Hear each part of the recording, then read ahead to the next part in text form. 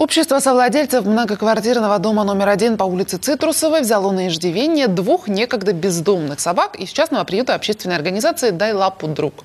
Как оказалось, жильцы этой девятиэтажки любят животных и таким образом решили устроить на своей территории живой уголок. При этом решено не только собаками ограничиваться.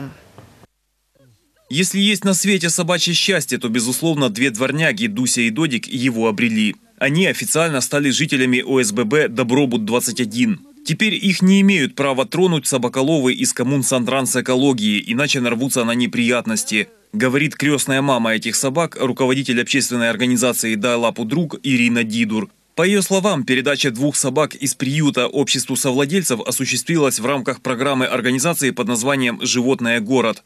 Дуся и Додик стерилизованы, вакцинированы и имеют документы. Сейчас они живут в добротных будках около подъезда, которые, когда сойдет снег, переставят на придомовую площадку. У объединения совладельцев этого дома есть идея сделать около своей девятиэтажки живой уголок. Кроме собак, там будет еще и голубятня, а также площадку для выгула домашних питомцев. В доме по Цитрусовой 1 на учете 22 собаки, принадлежащие жильцам. Собачки, которых мы здесь оставили, очень контактные. Эти собачки очень хорошо дружат с детьми. Дети их очень любят.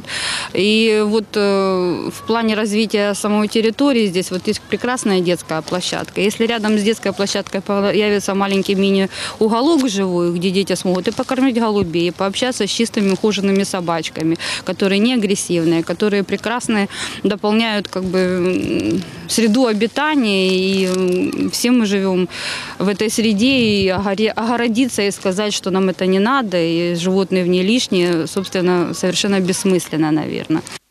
Председатель общества совладельцев дома Валентина Филипенко была в Европе и хочет, чтобы в ее дворе был европейский порядок. Территория по адресу Цитрусовая 1 признана одним из лучших дворов нашего города.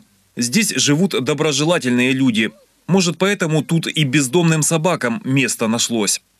Я встречаю особенно от жильцов сигналы. Вот первый дом, второй далеко ходить не надо. Жильцы даже убирают скамейки, уже не говоря о животных. Вот буквально вот первый дом и второй наши соседи.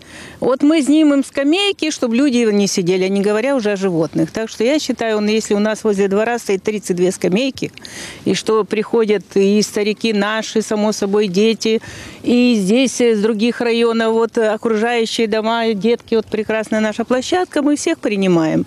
А тем более, если это стационар, действительно наши собачки прописанные. Любители животных надеются, что со временем европейское отношение к собакам, живущим в городе, появится и у местных властей.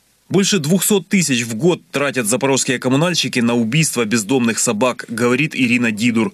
Однако годы идут, а бродяжек в городе меньше не становится.